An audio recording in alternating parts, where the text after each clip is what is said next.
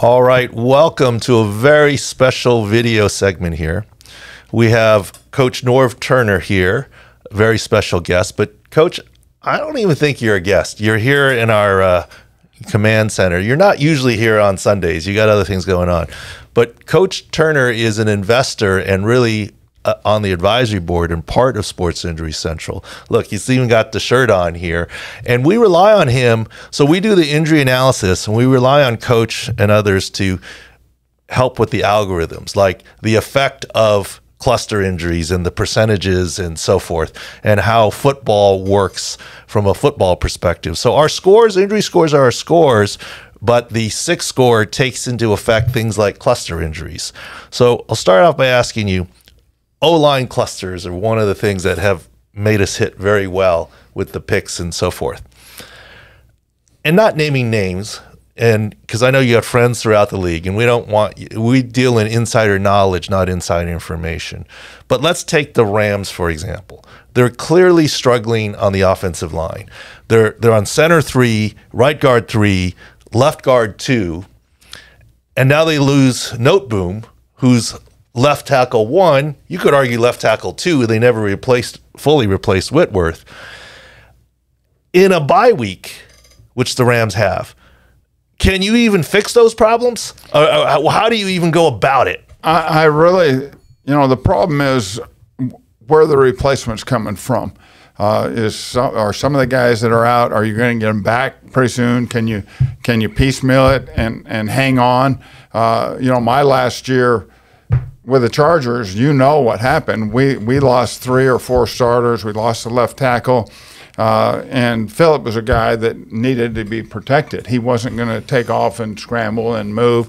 And there's teams now that remind me of that that situation we were in. And obviously, the Rams were one of them. And you saw it early in the season, and then you saw it as the season went on. And uh, Stafford's a guy that, that needs to be protected. He, he's not going to and sustain and, and, and and up the middle. It's no one question. thing if the left tackle gets beat and he can step up and throw the ball. But if the pressure is coming up the middle, that's even harder for an immobile quarterback, right? We know that about Brady. We know yeah. that about others. And we've seen like Darrell Henderson this last week almost look like a personal protector lining up in front of Stafford. You no know, question. And, and, and I, I, was, uh, I went to the Thursday night Washington Chicago game and I know a lot about Washington, uh, obviously with, with my son there and, and Coach Rivera, but – uh, I'm not giving away any secrets. They they're going through three centers. They're on their fourth. They've gone through three right guards, two right tackles. Uh, first of all, the continuity in the offensive line. We know how important it is, and then the ability to perform. Uh, you know, they played Tennessee and and that defensive tackle, 98, you guys will give me his name. I know you're all over it. I mean, they moved him around and got the great matchup. Uh, and then I went to the Charger game on Monday night, and when you see it in person, and they've had so many injuries in the offensive line, and uh, you know Herbert running for his life throughout a lot of the game, and uh, he's unbelievable. He keep, he. Another guy might have been sacked six or seven times. He avoids those sacks, but you don't get any continuity. You don't get any rhythm on offense. Uh, the quarterback needs a running game uh, to help him getting those situations that, that are prime situations. And, uh, you know, if your offensive line can't protect, you're struggling. No question. The, Rams were without uh, Rashawn Slater, left tackle, Corey Linsley, Pro Bowler, food poisoning, and then all of a sudden the whole line fell apart. And uh, as we mentioned before, 57 passes for like three some yards average. I mean, that that's uh, pretty amazing when you have a guy like Herbert, and they're they they're uh, their normal yards uh, targets target yards is low anyway. But then when you have protection problems and you have, you know, they're not going to get a lot of yards per attempt. And Herbert, his strength is being able to throw that ball up the field. I think another injury that we all know, Keenan Allen is his guy, and right. I think they would be a lot different with Keenan Allen. Uh, but the combination of the protection problems and then Keenan being out, it's it's a tough combination. Yeah, especially when Surtain locks down Mike Williams, so you don't even have that option, uh, you know, there. So the way I interpreted Coach Turner, we go back a long ways, and and he's he's always a nice guy, very very uh, words things the right way. So the answer to that question that I asked, I believe, is a bye week isn't going to help you fix much unless you you can use the bye to get somebody back. The only one that might come back is the center coming off a knee scope, and he's been slow. The right guard broke his leg, is out for the season, and they're down to right guard three. They're on center three. They could get center one back, and that could help. The left guard is on IR with concussion, so will definitely be out. And Noteboom tore his Achilles and is definitely out. So the only chance for help with the Rams is at the center position. Otherwise, unless they're picking up someone who's on the couch or from the practice squad, there's not a lot of help coming other than the center, Brian uh, uh, Allen, the center coming back from the knee scope, and that's not a guarantee. Yeah, and everyone says, well, you got to buy, you got some time, you can put some new schemes in, you can chip that, you can ha- have a tight end help.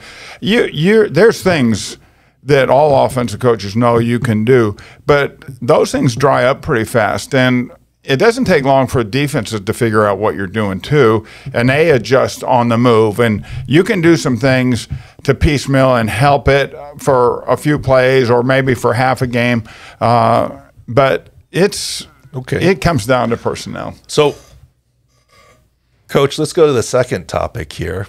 It dovetails well from what what you can do with offensive line cluster injuries.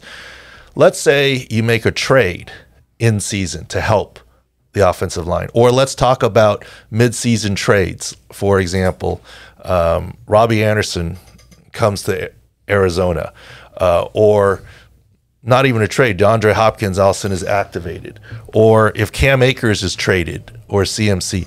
How hard is it to acclimate a guy, whether it's an offensive lineman or a Robbie Anderson or you name it in a midseason trade? Like for example, Robbie Anderson got traded we're recording this on Wednesday. Is he playing on Thursday? And and if he does, can you ever get him to do anything? You know, uh, to me, it depends on the guy. And there's some guys that come in and they they don't get caught up in oh god I got to learn a whole new system. Uh, you you give them a, a, set of plays. They're they're comfortable. They know how to play, uh, and they they move in and and are fine. Uh, you have a you have a small little package for them. Uh, but some guys, uh, it takes time, and and that's the problem we talked about. Back to the offensive line, it, those guys are in there and working together with you're playing guard, you're working with left it's, tackle, you're working with a center. You see now all these teams running three man games because they know there's a guy in there who hasn't worked with a guard. So I think I think the secondary and the offensive line are the toughest place places to really get a trade and then have a guy have an impact. So for a wide receiver, you could see a package of plays. Okay, we're only going to call these six plays for you, and, and we're going to run them a couple times, and you can do no, something. No but the question. offensive line is a different. I'll story. give you an example because you'll remember it. Uh, he had had the bad knee injury. Uh, Alexander Don, he, he was he played at Missouri, played at St. Louis. We he was a free agent. He was on the street. We signed him in 2012, and he ended up catching 60 balls in, in, in, the last seven games and had a 16 yard average and he became Philip's go-to guy uh, but he was on the street because he had a severe injury and then when he came in he we gave him hey these are your routes. Here's the adjustments. Don't worry about the play. We'll put the other guys. Philip could tell him what to do in the huddle. It was a unique situation but you know those things happen. All right so talk about adjustments and playing together. Uh, Taylor, what was the game I was mad at you? The Colts Thursday night against um, Broncos. Broncos. When the Colts played the Broncos on Thursday night, we did the SIC scores, we did the team stuff, we did the algorithm, and I said, easy money. The Colts are going to win by a lot. Just looking at the injuries, and we get to the game on a Thursday, mind you, and the entire offensive line is shuffled and I'm calling Taylor going, What happened? What injuries did you miss? I mean, like, how are we so wrong on what's happening here? And the offensive line was horrific. But to your point, I was shocked they did that on a short week. I get it. Maybe their line wasn't doing well, but to do that on a short week is very, very difficult. You know, put in a rookie like and, and whatever. Maybe there are other reasons, but I, at first I was mad at Taylor because I was like, "You're missing injuries. Yeah, What's going there- on there- here?" Something What- had to happen. no, we did. We still won that, okay, but By- but it wasn't uh, that uh, comfortable. by, uh, yeah, I, I remember the game. It was no one knew who was going to win. It, it didn't look we- like anyone was going to win. We won. We won. Interception at the end was the. we won and covered, but it, we were sweating it. And I was, but at least it wasn't Taylor's fault. But it speaks to your point on a, on a short week. Well, that's like uh, the end of the Washington Chicago game. I'm sitting in the end zone, uh, in a, and we're in a suite and looking down, and you know they they miss Washington misses a field goal late in the game, and I'm going uh oh, and then he, uh, Fields breaks the long run, and they're on a four, and I'm going this can't be happening, you know, and then all of a sudden. Washington wins, and when it's over, you're saying, "Oh, that was easy," you know. Let's move on. yeah. All right, Coach. Uh, you, you're really helpful for us for the algorithms and your insight into football, and we just do injuries.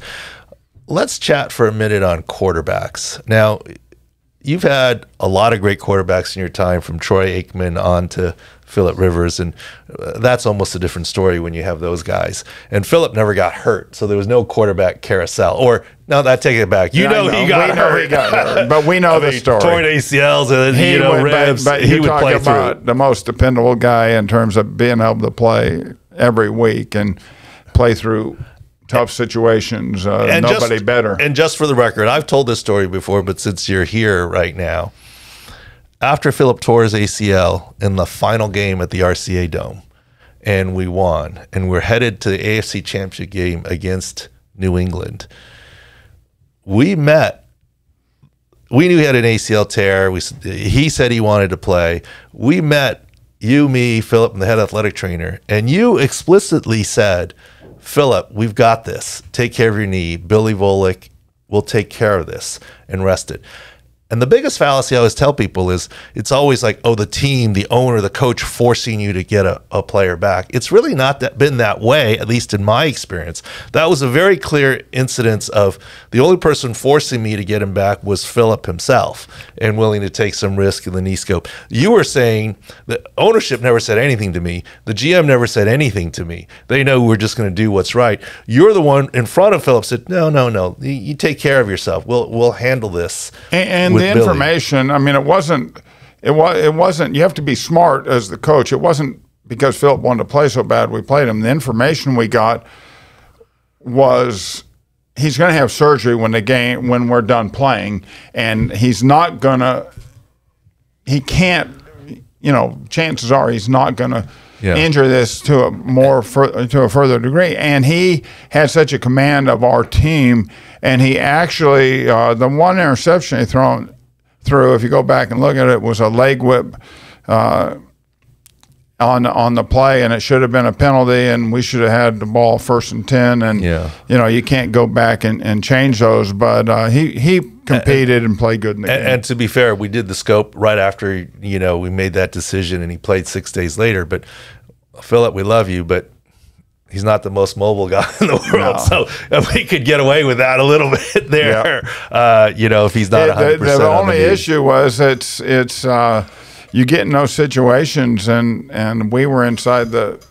It, it- unfortunately, we got to the ten, or our, our first and goals were on the ten, on the eight, that type of thing, and they were not going. They weren't worried about Philip running anywhere. So when they got to pass situations, they they dropped everyone in the end zone, and Yeah, and, and there's another piece of this. I don't know that I've ever told you the score, story, but I think it's worth telling. And it's a little, we don't have a script, but it wasn't the plan, but it's always fun to just chat. Remember, the Patriots were undefeated that year, leading up to that point in time. And we were not undefeated to start the season. And I remember Junior, Junior Seau, coming back on a bye week, and they were undefeated. And obviously, he was playing with the Patriots at the time and playing well. playing well. And and we talked at his restaurant, and I said, "Look, buddy, go get your Super Bowl, go get your ring." I said, "I said, my goal at this point, because we weren't doing that well, is let's just make the playoffs Yeah. and see what happens." And his goal is to win the Super Bowl. They were undefeated. So after the game, and you know, a lot happened that game, AFC Championship, whatever. And we were really banged up from LT to Gates to like we had seven Pro Bowlers injured that game. Whatever is Yeah. what it is. We win, and remember the key play was third down. I, rem- I can see it. right on the right side over there. Yeah. And Junior shot the gap, right?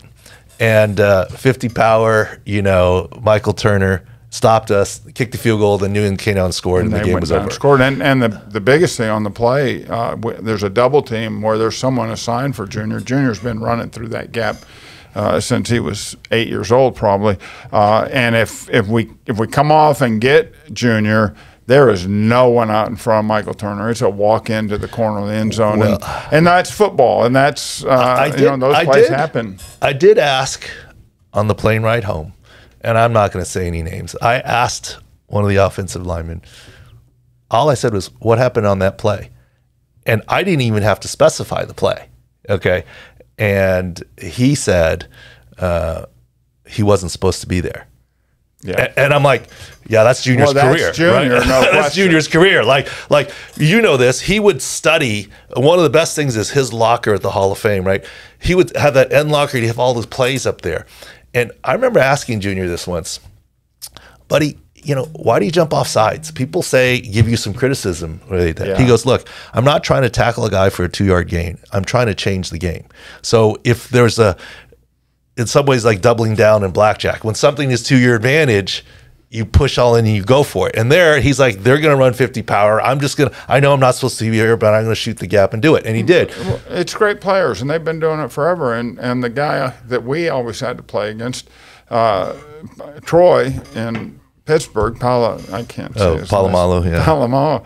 I mean, he he drove people crazy because he had a he had a free reign. And he could go any gap he wanted to, and he could time out the quarterback's cadence. And he he was a nightmare. And he he every once in a while he may give up a play, but he made a lot of plays doing that. So the follow up on that story is the game's over and there's a lot of fanfare. I did get a chance to give Junior a quick hug. And I said to him, June, as a buddy, remember our, when you were back for the bye week? He said, Yeah. I said, I got my dream for the season. We made the playoffs. Yeah. You go get yours, win that Super Bowl, right? And he looked at me and he said, Aloha.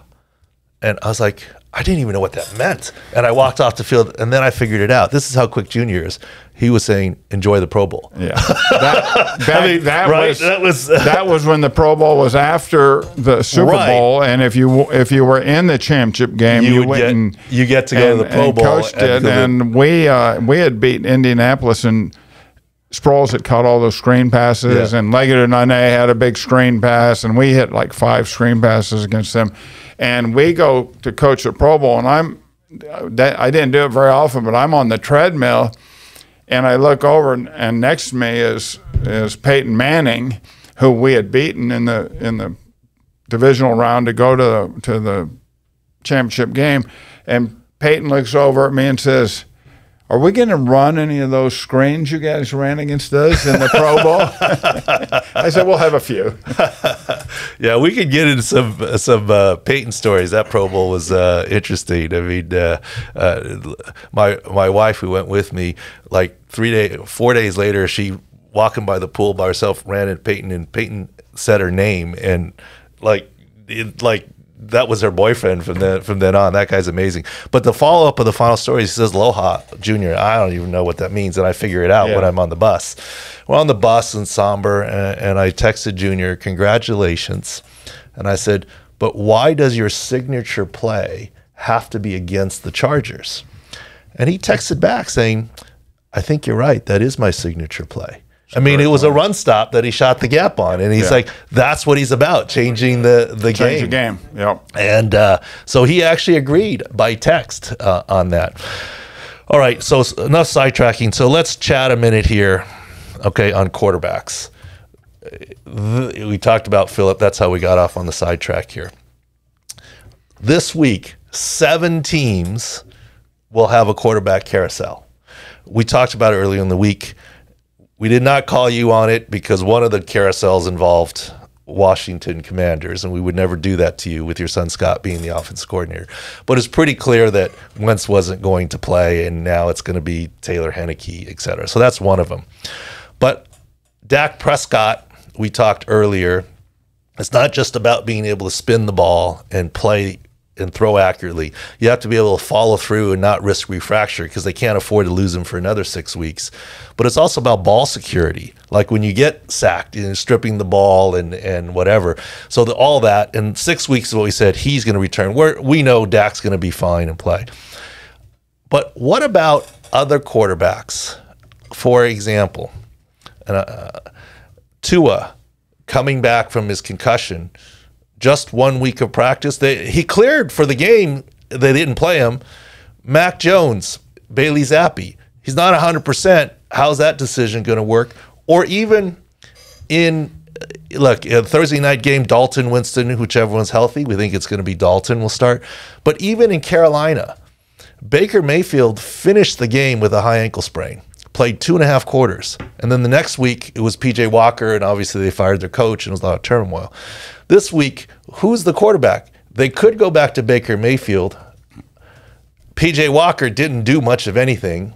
They named PJ the starter for this. Oh, they did already. Okay. Well, that's my other question.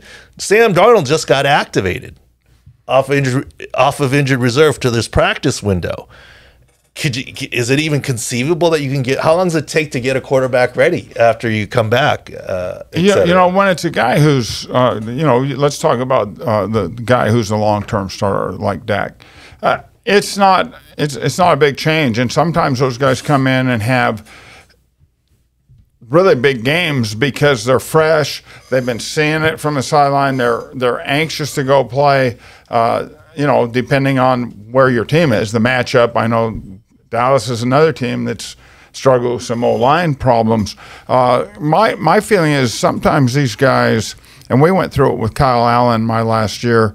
Uh, when Cam got hurt my last year in Carolina, some of these guys come in and they play pretty good for three or four weeks. Uh, I think uh, Dallas is a good example, but de- defenses start getting a feel for them and understand them, and all of a sudden they they can't do what they do best. They have to be able to play a complete game. And we were five and one with Kyle, and then it just kind of he struggled from that point on, and people. You know, pressured him a little bit more, changed up coverage is a little better, uh, and I think you see that. So, everyone gets excited when a guy comes in and has the two or three games. I, I know uh, after uh, in Dallas, they were saying, "Well, can this guy beat out Dak? Or, or they, should they go back?" Well, it, four weeks later, you know, fourth week into it, you're saying, "Well, he's done a great job keeping us in this thing, but it's time. We need to we need to make that move." Uh, so I never get I never get that. I learned from Ernie Zampese. I never get that excited when a young guy goes in and has two or three games because it's a it's a long process. Uh, New England has an interesting deal because I like uh, the with the funny name Zappe. You know, Zappe. Zappe. I like him, uh, and he's given him a spark. So now you're kind of. Yeah, maybe maybe wait Mac until you're 100. percent Yeah. Normally, if Zappe's not doing well, 80 percent, let's go. Yeah. Now let's wait till you're 100. 85 to 90 yeah, well, in his eyes, right? That's and, the translation. Coach, I'm good enough to play. I'm lobbying to play, but if you sit me, I have I say face. I'm not 100, percent right? I mean, uh, he, but if a player says he's 85 to 90, he's about 70. Well, and right? we, I mean, we, we we all know now. You know, we all have good memories, and and Bledsoe sprained his ankle, and uh, young Brady oh, went yeah. in there, and all of a sudden uh, he's he continued to play and play and play for like 20 two years. So I mean, I, it'll be interesting well, to see what uh, Coach Belichick does. Two things I think he's going to go with Zappe at least one more week. I'm see, with you, right? I mean, I mean, let's look at Tyrod Taylor with the L.A. Chargers. Justin Herbert comes in, surprise of the ribs, and the head coach at the time, Anthony Lynn, says, "Nope, Tyrod Taylor's the starter. Tyrod Taylor's the starter. As soon as he's healthy, he's the starter. That's my guy." Two weeks into it, Herbert's playing pretty good. Tyrod, take your time. We don't want you to get hurt again. Yeah. Four plus weeks into it, four good games, five good games, uh, you don't have your job anymore, right? No. I mean, that's just the way it works. And that's football, you know. That's, that's football. And part of it too is what I think for quarterbacks, a simple analogy is it's baseball season, right? So it's Padres and we're all caught up in the National League Championship Series. But how many times in baseball, guys, do you see that double A or triple A pitcher come up and he looks great until the third time the batter sees him, Yeah. right? In the fifth inning. Or even if he has one or two good starts, by the third and fourth start, like, uh, yeah, they've got film on you in the book and what you throw, and, and now they're ready for you. No more surprises, Well, it's, right? it's very That's similar. part of it. It's very similar to what we're talking about. But the, the other thing, position. there's one, and one other thing that I think is a big deal for me as a doctor. There's a physical side and there's a mental side. I think there's a tremendous amount of mental fatigue when you're the starting quarterback, and especially when you're the new starting quarterback, because sure you're studying you're keeping up but you're like you're one play away everyone knows that but it's almost a relaxed nature. Like this is you're studying for the practice test. But now you know you're studying for the real test and you study like crazy the first week and you're successful. And you take half a breath and you got to do it again. And you have to do it again. And you know different guys you might do it for one week two weeks you might do it for four weeks. But by that fifth week you're exhausted mentally exhausted right i mean it mounts up on you, and there's no question. And it, it uh, that's what I was talking like with a guy like Kyle Allen, and and not only that, you know, uh, people always say when they, um, I mean, I laugh, let Russ cook. You know, we've heard that forever and so.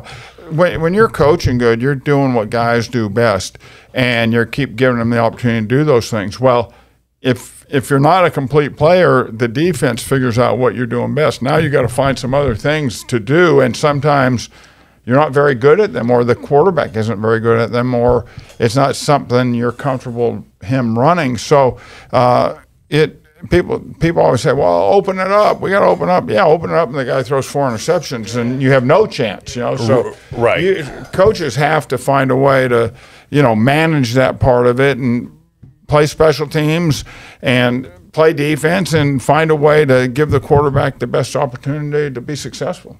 No, absolutely. Well, we could talk for a long time here. We got a couple good snippets here, and we went off. Uh, Coach Turner, it's a pleasure to uh, be your friend, but it's so, such a pleasure to have you part of Sports Injury Central SIC Score as an advisory board member. Uh, look, Well, I look at it. I look at it every week, and I'm amazed uh, because there's, there's such great information and and uh, track record's pretty good right now. Yeah, well, the, a lot of it is because the algorithms that you participate in, right? Because we just do the injury scoring, but in terms of how to grade it, how to do the clusters and apply what's going on, it's not just me looking at injuries or our panel of doctors looking at injuries and saying this is what's going to happen. It's there's a football component to it. Uh, uh, we always say that the same injury on the same player is a different situation, right? And uh, it, it, whether the type of running back you are, or wide receiver, the type of player you are, or back to the Philip Rivers example.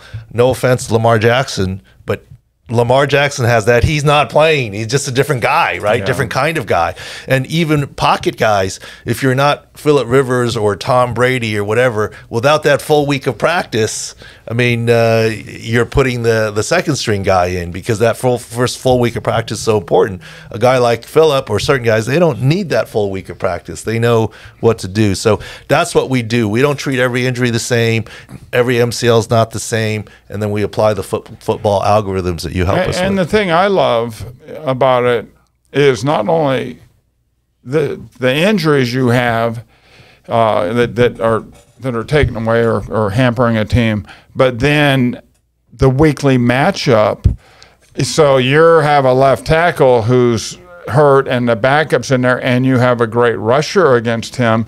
That compounds it as compared to maybe a lesser guy, or, or it's like Sure, I would say it's is. like Kansas City the other day with those DBs out. The last team you want to be playing is Buffalo with their passing game. So that you know, uh, Kansas City could have probably got by against a team that doesn't throw the ball that well. Uh, it's just so happens they were playing Buffalo. Yeah, and and as we say is also you know in terms of clusters, like okay, everyone can know the quarterback or the star rusher or the left tackle's out, but if the right tackle's out too, how do you shift protection and which side do you chip on? You run out of people. So yeah. so there's where the clusters or, or, like the Rams we talked about when it's three interior linemen. Now who are you helping? I mean, uh, you you run out of bodies in it's terms of playing together. It is complicated. George Kittle, remember he would move over to help Trent Williams on that side.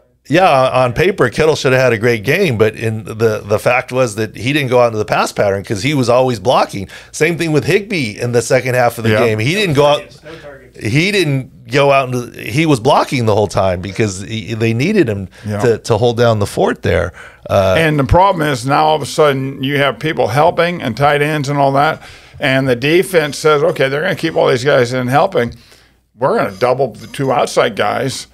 You know, or, or, pretty soon there's nowhere to throw the ball. Or be more exotic on our blitzes because yeah. we know you're not going to hit the pattern, yeah. you know. So we got an extra body to to to throw at it. So before it was like, okay, they, they've got someone covering Kittle or Higbee, and they're staying in. So now you've improved your odds. But if they know you're staying in and that guy comes too, you got yeah. the odds back to where you started uh, in terms of the numbers game.